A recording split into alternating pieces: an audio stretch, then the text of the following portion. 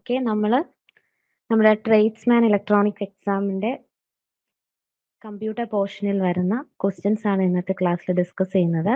നമുക്കറിയാം five marks ആണ് അല്ലേ നമ്മുടെ ഈ ഒരു മോഡ്യൂളിൽ നിന്ന് വരുന്നത് അല്ലേ? പിന്നെ നമ്മൾ ഇന്ന് അറൗണ്ട് ഒരു ഹൺഡ്രഡ് ക്വസ്റ്റ്യൻസ് ഞാൻ എടുത്തിട്ടുണ്ട്. അത് നിങ്ങളും കൂടി ഒന്ന് കോപ്പറേറ്റ് ചെയ്താൽ നമുക്ക് ഡിസ്കസ് ചെയ്യാം നല്ല രീതിയിൽ ഓക്കെ? നിങ്ങളുടെ പ്രിപ്പറേഷൻ ഒക്കെ എവിടം വരെ ആയി? അധികം ദിവസമൊന്നും ഇല്ലല്ലോ? ട്വന്റി സിക്സ്തിനല്ലേ എക്സാം ഹലോ അതെ മിസ് ഓക്കെ പ്രിപ്പറേഷൻ ഒക്കെ എന്തായി? ഈ സി എച്ചിന് അധികം നോക്കിയിട്ടില്ല. പിന്നെ ലാസ്റ്റ് മൊഡ്യൂളും നോക്കാനുണ്ട്. ഓക്കെ അപ്പൊ നമുക്ക് ക്ലാസ് സ്റ്റാർട്ട് ചെയ്യാം. ഫസ്റ്റ് ക്വസ്റ്റ്യൻ നോക്കി ആൻസർ ചെയ്യാൻ പറ്റുന്നുണ്ടോ നോക്കണം. What type of a device is a computer mouse simple question ആണ് അല്ലേ? Output input device data storage എന്താണ് ആൻസർ വരുന്നത്? മൗസ് എന്ന് പറയുന്നത് എന്ത് ടൈപ്പ് ഓഫ് ഡിവൈസ് ആണ്?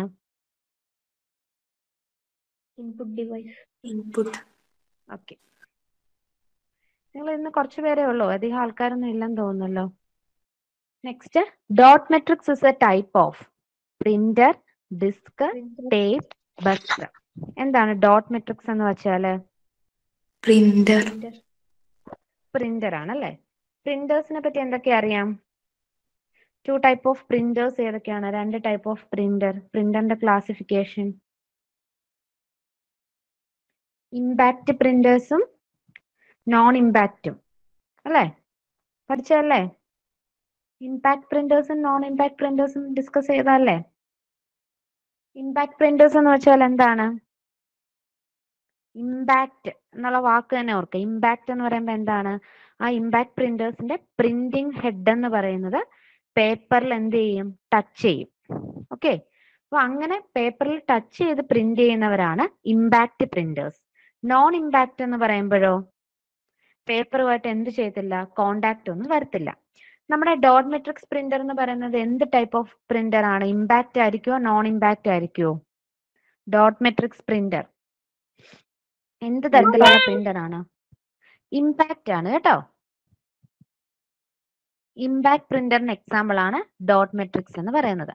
ഡോട്ട് മെട്രിക്സ് മാത്രമല്ല ഓർത്തു വെച്ചോണം line printer character printer drum printer chain daisy wheel line printer ഉണ്ട്. അതുപോലെ തന്നെ ക്യാരക്ടർ പ്രിന്റർ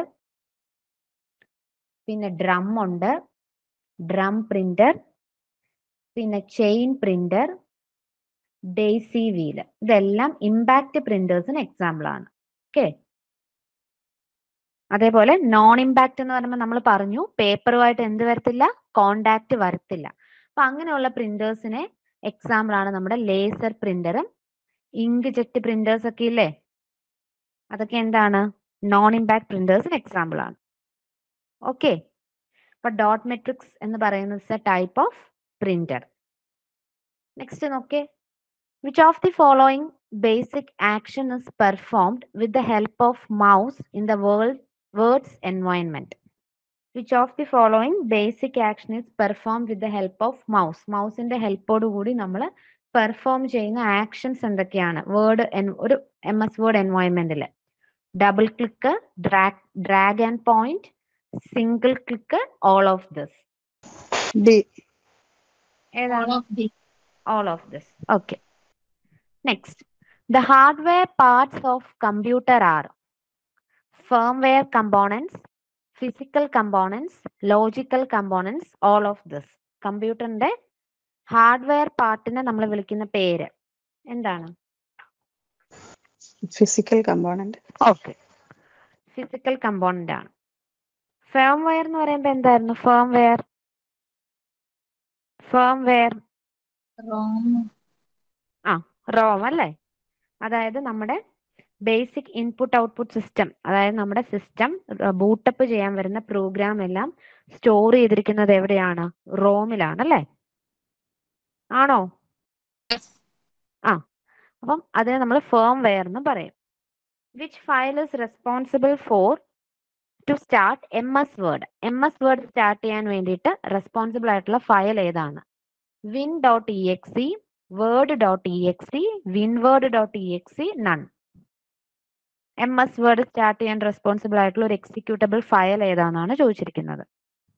അറിയുമോ answer answer win word dot E X ആണ് കേട്ടോ. വിൻഡോസ് വേർഡ് അത് വേർഡ് ലോഞ്ച് ചെയ്യാൻ വേണ്ടിയിട്ട് സഹായിക്കുന്ന ഒരു executable ഫയലാണ് winword dot E X okay. പഠിച്ചു വെച്ചോണേ. U T P stands for unshielded transmission protocol unshielded twisted pair unshielded transfer pair unshielded T line protocol U T P B ആ unshielded twisted pair അല്ലെ എന്തായിരുന്നു twisted pair ഓർക്കുന്നുണ്ടോ? നമ്മൾ network section discuss ചെയ്തപ്പം പഠിച്ചാണ് twisted pair cables ഓർക്കുന്നുണ്ടോ? രണ്ട് തരത്തിലുണ്ട്. ഷീൽഡഡും ഉണ്ട് എസ് ടി പി ഉണ്ട് യു ടി പി ഉണ്ട്. ഓർക്കുന്നുണ്ടോ? നിങ്ങൾ ആ ക്ലാസ് ഒക്കെ കേട്ടായിരുന്നോ? ഓക്കെ അപ്പം U T P S T P എന്ന് പറഞ്ഞാൽ ഷീൽഡ് ട്വിസ്റ്റഡ് പെയറും യു ടി പി എന്ന് പറയുന്നത് എന്താണ്? അൺഷീൽഡ് ട്വിസ്റ്റഡ് പെയറും എസ് ടി പി എന്ന് പറയുമ്പോൾ ഓർക്കുന്നുണ്ടോ? ഒരു ഷീൽഡ് ഇല്ല അല്ലെ? ഓരോന്നും അൺഷീൽഡഡ് ആണ്. ഈ സോറി യു ടി പി എന്ന് പറയുന്നത് ഷീൽഡ് ഇല്ല. അതായത് നാല് പെയേഴ്സ് ഉണ്ട്. ഇങ്ങനെ ട്വിസ്റ്റ് ചെയ്ത് കിടക്കുന്ന വയറുകളാണ്. അല്ലെ? അപ്പൊ ഇതിനെന്തില്ല? കവറിംഗ് ഇല്ല. കവറിംഗ് ഉള്ളതാണെങ്കിൽ അതിനെ നമ്മൾ ഷീൽഡഡ് ട്വിസ്റ്റഡ് പെയർ പെയർ എന്നും കവറിംഗ് ഇല്ലാത്തതിനെ എന്തെന്ന് വിളിക്കും? അൺഷീൽഡ് ട്വിസ്റ്റഡ് പെയർ എന്ന് വിളിക്കും. അല്ലെ? ഓർക്കുന്നുണ്ടോ? ഡയഗ്രാം ഒക്കെ കാണിച്ചു തന്നിട്ടുണ്ട് നിങ്ങൾക്ക്. Disk and tape drives are commonly used hard copy soft copy secondary storage none ഡിസ്കും tape ഡ്രൈവ്സും ഒക്കെ എങ്ങനത്തെയാണ് എന്ത് ടൈപ്പ് ആണ്? കോമൺലി യൂസ് ചെയ്യുന്നത് നമ്മൾ എന്തിനു വേണ്ടിയിട്ടാണ്? സെക്കൻഡറി സ്റ്റോറേജ് ആ സെക്കൻഡറി സ്റ്റോറേജ് ഡിവൈസസ് അല്ലേ? വേറെ എക്സാമ്പിൾ ഏതൊക്കെയാണ് സെക്കൻഡറി സ്റ്റോറേജ് ഡിവൈസസിന് ഏതൊക്കെ എക്സാമ്പിൾ അറിയാം നിങ്ങൾക്ക്? ആ hard disk floppy disk Blu-ray disk pen drive magnetic tape അല്ലേ? ഇതൊക്കെ എന്താണ്? സെക്കൻഡറി സ്റ്റോറേജ് ഡിവൈസസിന് എക്സാമ്പിൾ ആണ്. F T P stands for F T P എന്താണ്? File transfer post file transfer protocol file transit protocol none of this ഏതാ? കേട്ടില്ല.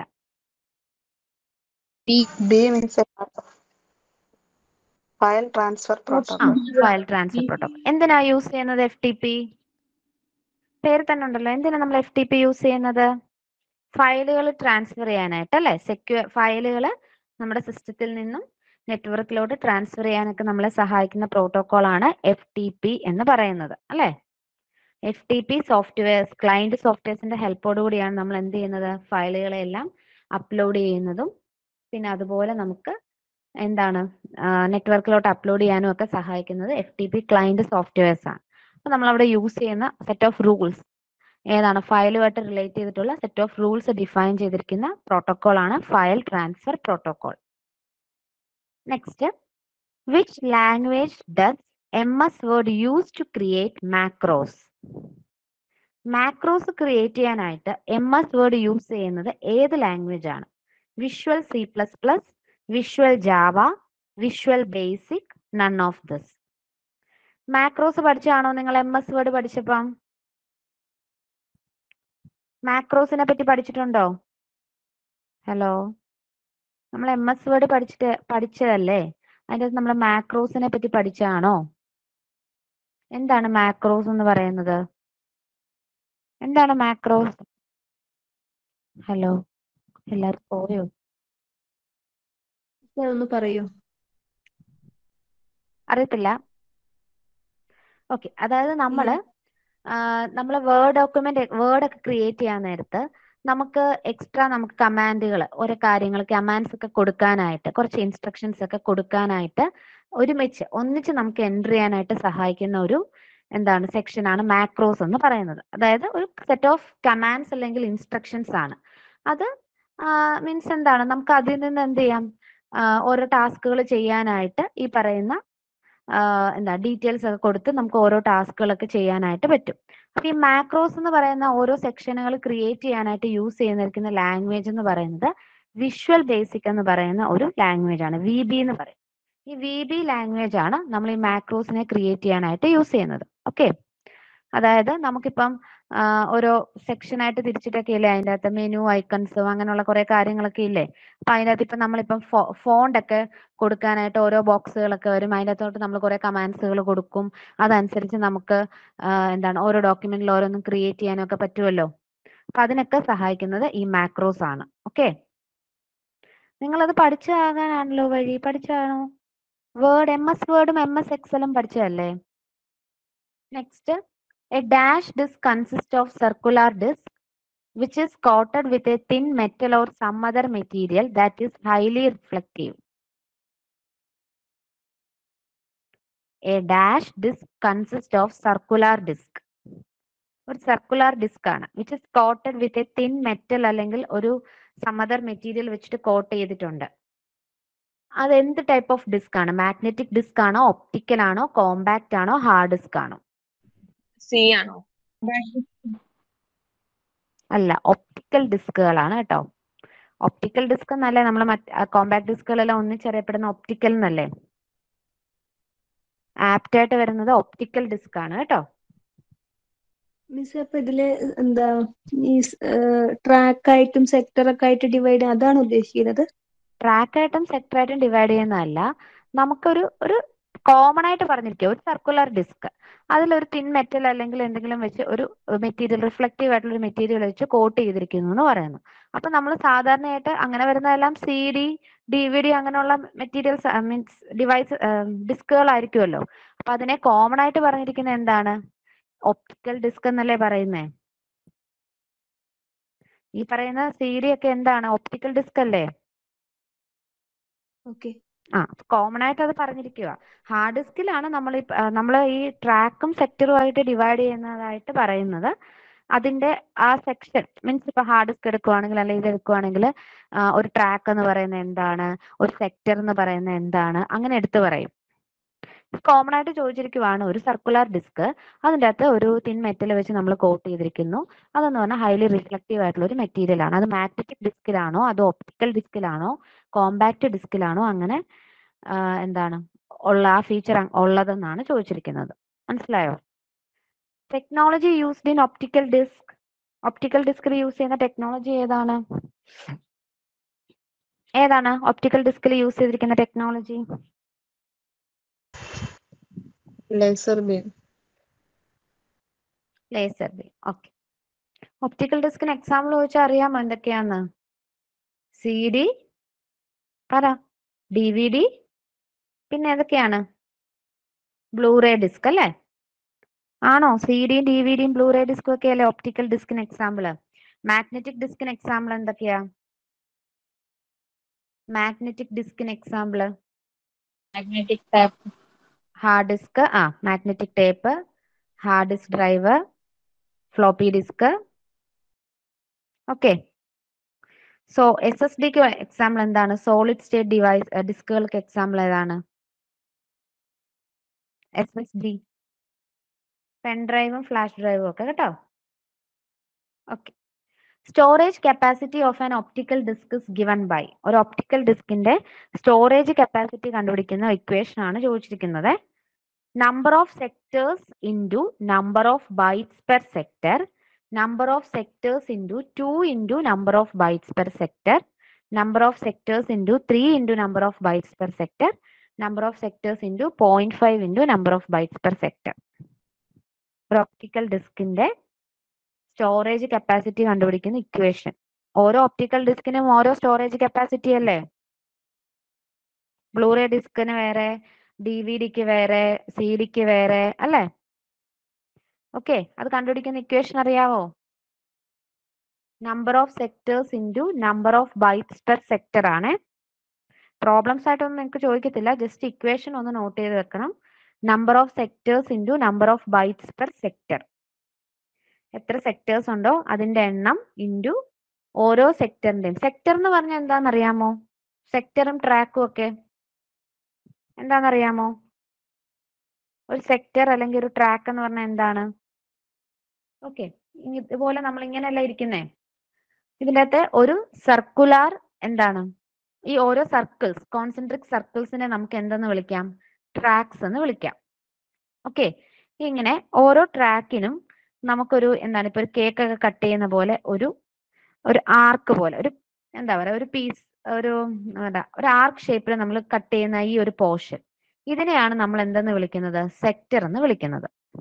Okay ഇപ്പൊ ഒരു ഹാർഡ് ഡിസ്ക് എടുത്താലും നമ്മുടെ ഓപ്റ്റിക്കൽ ഡിസ്ക് ഒക്കെ എടുത്തു കഴിഞ്ഞാൽ അതിന്റെ ട്രാക്ക് എന്ന് പറയുന്നത് എന്താണ്? ഈ കോൺസെൻട്രിക് സർക്കിൾ ഈ ഒരു സെക്ഷനെയാണ് നമ്മൾ ട്രാക്ക് എന്ന് പറയുന്നത്. ആ ട്രാക്കിന്റെ അകത്ത് വരുന്ന ഒരു എന്താണ്? ഒരു ഒരു ആർക്ക് പോലെ നമ്മൾ കട്ട് ചെയ്തേക്കുന്ന ഒരു സെക്ഷൻ ആ ഒരു സെക്ഷനെയാണ് ഏറ്റവും സ്മോളസ്റ്റ് ആയിട്ടുള്ള എന്താ പറയാ ഇപ്പൊ ഹാർഡ് ഡിസ്കിന്റെ കേസിലൊക്കെ ആണെങ്കിൽ ഏറ്റവും സ്മോളസ്റ്റ് ആയിട്ടുള്ള അഡ്രസ്സബിൾ യൂണിറ്റ് ഒരു ഹാർഡ് ഡിസ്കിന്റെ ഏറ്റവും സ്മോളസ്റ്റ് അഡ്രസ്സബിൾ യൂണിറ്റ് ഏതാന്ന് ചോദിച്ചാൽ ഈ സെക്ടർ ആണ്. സെക്ടേഴ്സ് ആണ്. ഓക്കെ അപ്പൊ നമ്മൾ ഇതിന്റെ സ്ട്രക്ചർ ഹാർഡ് ഡിസ്കിന്റെ ഒക്കെ സ്ട്രക്ചർ നിങ്ങൾ പഠിച്ചിട്ടുണ്ടായിരിക്കും. അപ്പൊ ഇതിന്റെ സ്ട്രക്ചർ പഠിക്കാൻ നേരത്ത് ഇതുപോലെ എന്താണ്? കുറെ ഇങ്ങനെ ഇങ്ങനെ എന്താണ്? ഇങ്ങനെ ഒരു അറേഞ്ച് ചെയ്തൊരു സിലിണ്ടറിക്കൽ ഷേപ്പിൽ ഇങ്ങനെ ഒരു എന്താണ്? ഒരു ഒരു നടുക്കൂടെ ഒരു ഒരു സ്പിൻഡിൽ പോലെ വന്നിട്ട് അതിന്റെ അകത്ത് ഇങ്ങനെ കോൺസെൻട്രേറ്റ് ആയിട്ടുള്ള ഒരു സർക്കിൾസ് ആയിട്ട് ഇങ്ങനെ സീഡുകൾ അറേഞ്ച് ചെയ്തേക്കുന്ന പോലെയാണ് അതിന്റെ സ്ട്രക്ചർ വരുന്നത്. ഈ ട്രാക്കുകളെ എല്ലാം ഈ ഒരു ട്രാക്കുകളെല്ലാം കൂടി ചേർന്നാണ് ഒരു സിലിണ്ടർ ഉണ്ടാകുന്നത്. ഓക്കെ? ഇനി ഈ ഒരെണ്ണത്തിനെ നമ്മൾ ട്രാക്ക് എന്ന് വിളിക്കും. ഈ ട്രാക്കിലെ ഒരു സെക്ഷനെ നമ്മൾ സെക്ടർ എന്ന് വിളിക്കും. ഓക്കെ? ക്ലിയർ ആണോ? പിന്നെ ഇതിലോട്ട് റീഡ് ചെയ്യാനും റൈറ്റ് ചെയ്യാനും ഒക്കെ എന്ത് കാണും? ഒരു റീഡ് ആൻഡ് റൈറ്റ് ഹെഡ് കാണും. ആ ഹെഡ് ഇങ്ങനെ എന്ത് ചെയ്തുകൊണ്ടിരിക്കും? മൂവ് ചെയ്തുകൊണ്ടിരിക്കും. അതാണ് ഇതിന്റെ അകത്തോട്ട് ഡാറ്റകളെല്ലാം റീഡ് ചെയ്യുകയും റൈറ്റ് ചെയ്യുകയും ചെയ്യുന്നത്. ക്ലിയർ ഓക്കെ ആണോ?